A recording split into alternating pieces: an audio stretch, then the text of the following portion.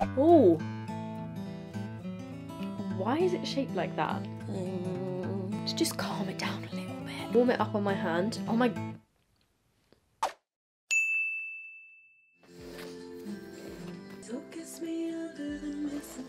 Stop. The first thing that I need to do immediately in this video is put on some lip balm because my lips are so dry. You know what? While we're talking, I'm gonna crack this one out, the bite-sized lip balm. What a weird shape for a lip balm. Why is it so big? It's gonna get all over my skin. Anyway, hi guys, welcome back to my channel. Today I'm finally going to be doing a full face of e.l.f. makeup because e.l.f. is a brand that I've tried a few bits sort of here and there from, but I have never done a full face of e.l.f. I don't think I have anyway. So that is what I'm going to do today. So there are a couple of bits in here that I did by myself, but the majority of this stuff e.l.f. did actually send me. They sent me like a package with a load of different bits quite a few months ago now, and I just haven't got around to testing it all until now. Also, I don't actually know if you can tell, my face is a bit blotchy. My face has been really itchy the past few days and the only new stuff that I've been using on my skin like consistently for the past few days is Nivea and I have a feeling it's from that because it's like on my forehead, it's on my cheeks. that lip balm that I used at the start, I mean it feels all right but the shape of it is just so weird. Like why would you make a lip balm this big. I'm going to put on this one, which is the Ride or Die Lip Balm. And this one is in Just Peachy. I'm not kidding. It is actually the hardest lip balm I have ever tried to squeeze out in my life. It is so solid and it does look slightly tinted. Um, Oh my god, it smells and tastes like Haribo peaches. I like that, but it's just really hard to get out and it is very, very slightly tinted, but barely any. But that feels really nice. Mmm. So I'm going to start with primer. This one is the Mint Melt Primer. I have actually tried this in a previous video, so have a little look back on my channel. It's in a dupes video, and I tested this compared to the Milk Hydro Grip. e.l.f. obviously have their putty primers as well, but again, I have tried those in like a testing viral TikTok makeup video. So I'm going to use this one, which is the Jelly Pop Dew Primer. It looks like this. I haven't really heard anything about it, but I did a quick Google, and people are saying that it's a really sticky primer. So I'm very intrigued because I love a sticky primer. What's the other thing in here? Glow Stick Illuminator. Hmm. Oh. It is very, very sticky. It's like stringy. You know what this reminds me of? It reminds me of the NYX, um, oh my god, what's my favourite NYX primer called? Honey Dew Me Up. It's that kind of texture, actually, but this one's a lot thicker. Oh my god, it is really sticky. It smells like watermelon, which I don't think my skin is particularly enjoying, but wait, I need to put on a little bit more because I didn't quite reach all of my face. Oh my god, though, it is honestly, that is the stickiest primer I have ever experienced. I just need to make sure that it's on like all parts of my face so that it doesn't go weird. I'm not gonna lie, it feels like I have glue on my face. I love these kind of primers. It feels quite similar actually to the Milk Hydro Grip, just even more sticky. Let me just turn the brightness down. Is that any better? Hopefully that's a bit better. Yeah, my skin looks amazing. We have then got the famous Camo CC Cream. I have got the shade Light 220. And this is a full coverage, natural finish, colour correcting CC cream. It's got SPF 30 in it. And I have actually tried this before. I tried it ages ago because I was planning on doing this video sooner. And I wanted to sort of test how long it lasted and I tested it in a vlog, which I think was the vlog where I also tested viral TikTok food or something. It was like a trip up to London, and it actually held up pretty well. But in terms of the coverage, I'm going to do half with the brush and half with the sponge, because this is one of the e.l.f. brushes. It's actually the putty primer applicator brush. It's got like a little scoop on the end. And then I've got this why is it shaped like that? It is the longest sponge I've ever seen. And this is called the Camo Concealer Sponge, which is supposed to be like used with their concealer. It's actually really soft and squishy. This is kind of supposed to be a dupe for the IT Cosmetics CC cream, I think. However, it definitely doesn't have as much coverage as the IT Cosmetics one. Let me just try with this weird looking sponge. Yeah, you know what? Over the top of this primer, I wouldn't use a brush because it kind of drags a little bit because it is so sticky. I think these kind of sticky primers work best if you use a sponge so that it's not like moving them around too much underneath. Ooh. But when using a sponge, this actually looks like a winning combination. I think my skin looks really nice. Mm. I actually really like this. I do think that it is worth the hype. My skin looks very glowy. You know what? This sponge is actually really nice. Next up, we have got their famous camo concealers. I have, again, tried these before. I actually think I prefer the hydrating camo concealer than the original. This is still a nice concealer and it's got really good coverage. The only thing is I do find it dries a little bit too quick. They do have quite a lot of shades, but so many of the shades look really similar. This one is called Medium Peach. Sorry, but in what world is this shade medium peach? That's more like a light sand. And then medium beige is this one. If anything, this one looks more like a medium peach. But I'm to use the hydrating camo concealer and I've got the shade light sand in this. I did actually use this in my testing more dupes video where I compared this to the Too Faced concealer. I definitely still prefer the Too Faced, but because it's got more coverage and it's actually got more product as well, so it will last for ages. But this is still a nice concealer, you know?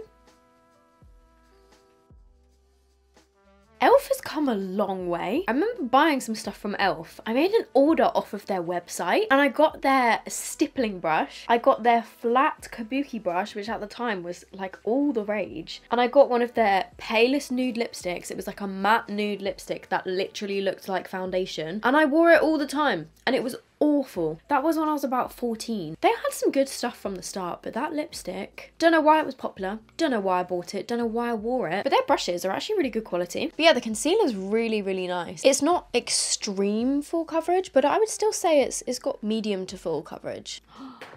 Surely not. This box has been sitting there for how long? And I've only just realised that there's no face powder. I'm such an idiot. I thought this was a powder, but it's just their putty primer. Do I own an e.l.f. face powder? I don't think I do. I'm really sorry, guys. I've been an idiot. But if anyone has an e.l.f. face powder that you would recommend, please let me know. This is one of the things that I have been the most excited to try. It is their putty bronzer because I tried the putty blushes and I actually really liked them. They're one of the better cream blushes that I've actually tried from the drugstore because a lot of the time they're too oily. It's called Honey Drip. Okay, e.l.f. They've got a pretty good shade range. And they seem to range from pretty light to pretty dark. Hmm, they made their brush perfectly fit in it. I quite like that. I've got no idea how pigmented this is going to be. I should probably use a smaller brush actually to paint it on and then blend it out with this, but it's too late now. Promising start. Mmm. Why did I just sound like Yoda? Mmm. Message from the dark side there is. Did anyone have that ringtone? Like years and years and years ago. Definitely brought that down a bit too low, but. Does anyone have a recommendation for a really good drugstore cream bronzer and a drugstore cream blush because when I was filming my drugstore favourites of the year video I was missing things from those categories. It's going a little bit patchy on my forehead but I think it could be because my forehead's really dry at the minute. You know what the finish of this is really nice and I do like it but it's just not very pigmented so I'm like really swirling my brush in there.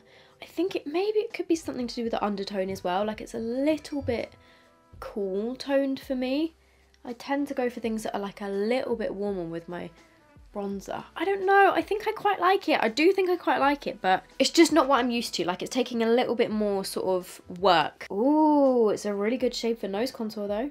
Oh yeah. I think for the price, it's pretty decent. It's six pounds. So next up, I've got cream blush and this is the Putty blush. And these are the ones that I did test in that like viral TikTok makeup video, I think. And I've got the shade Palmer's and blush pate tasty. This one doesn't have a shade name on it, but it's just the like pink pink one. Shall I use the pink one today? Because uh, spoiler, I do use the peach one in my upcoming video, whenever that's going to be. I don't know if it's going to be up before or after this one. So I'm just swirling my brush in there.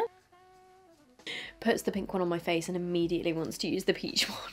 I might mix them, but you know what? This is actually a really pretty pink colour. It reminds me of that sort of Kylie Jenner-ish Kylie Jenner-ish kind of colour that uh, was viral on TikTok again a few months back. That is actually a really pretty pink blush. I'm just going to mix in a tiny bit of the peach one.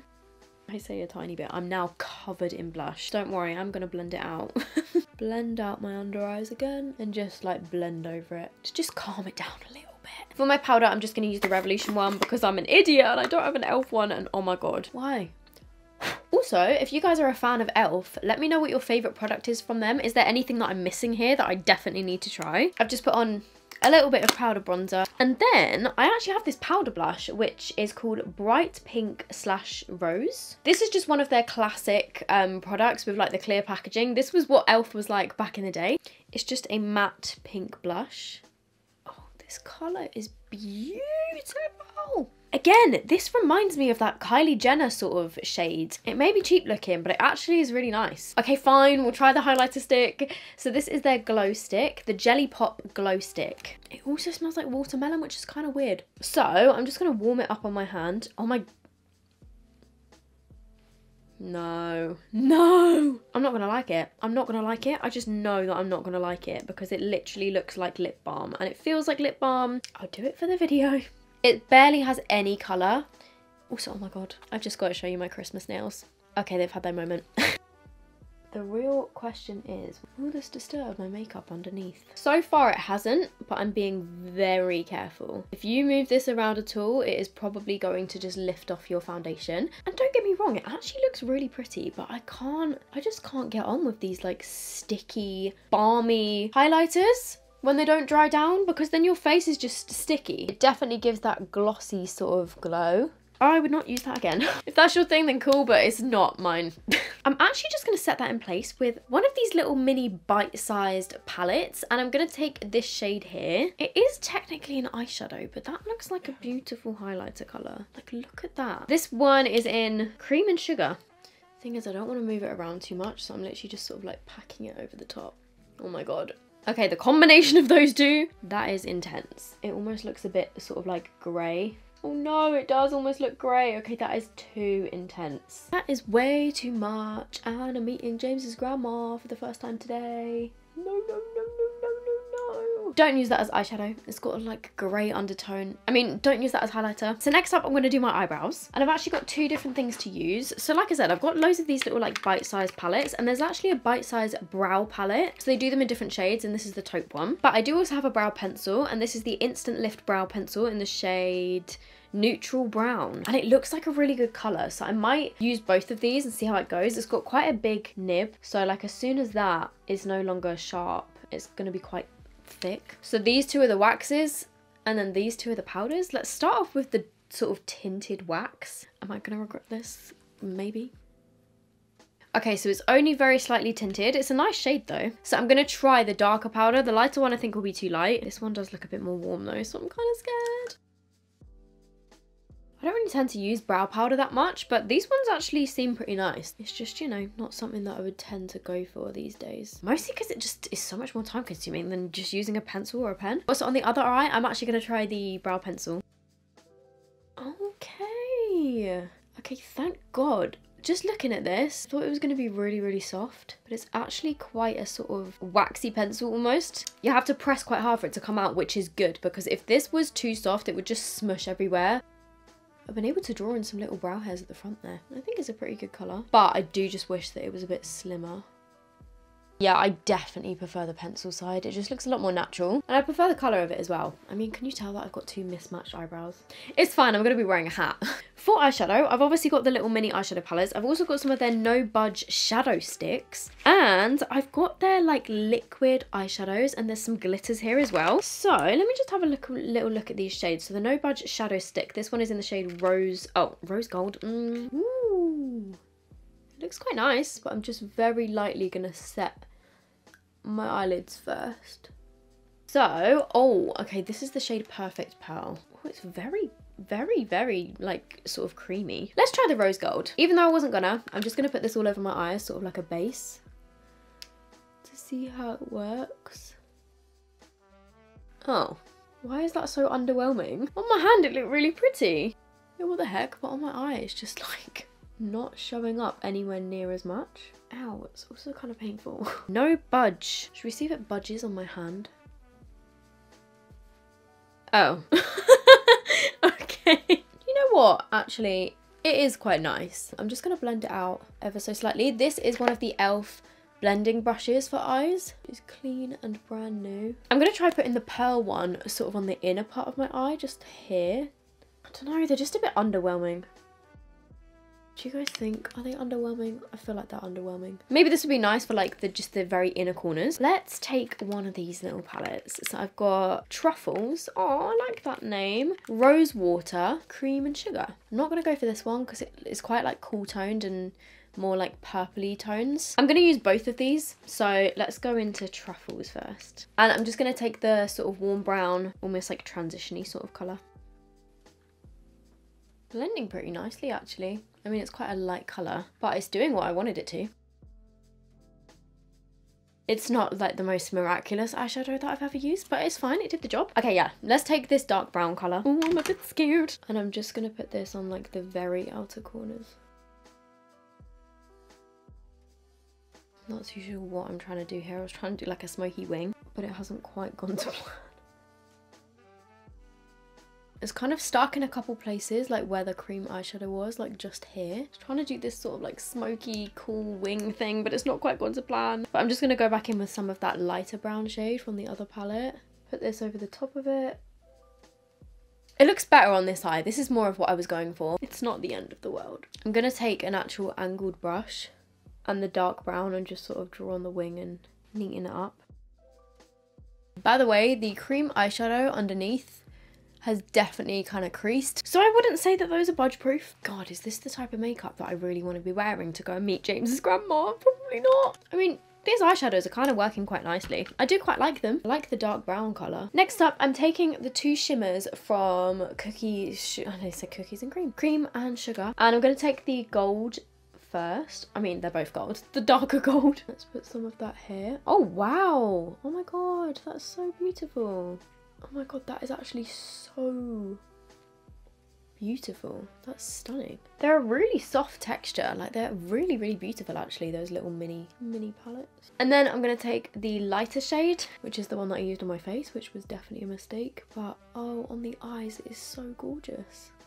You nearly done? Yep. Yeah, I actually really like these guys. I really like those. I do have a little bit of fallout on my face. Just a tiny, tiny bit. I don't want anything too heavy on my lower lash line because it's quite heavy on my upper lash line. Let's take one of these glitters. The two that are calling my name are 24 karat gold and Comet. But then I've also got this mini one that came in the advent calendar, which is called Flirty Birdie. This one looks like the most like glittery out of all of them. It looks gorgeous. It actually looks like the Stila one. Oh. Oh my god, guys. James's grandma is going to think I'm so extra, but that is literally almost exactly the same as the Stila one that I have. I think it's the Stila kitten glitter, if I am correct. This one is so similar. That is stunning. Yeah, wait guys, I've just, oh, I've just dug Stila's Kitten Karma out of my drawer. That is the Stila one. The e.l.f. one is a tiny bit more pink.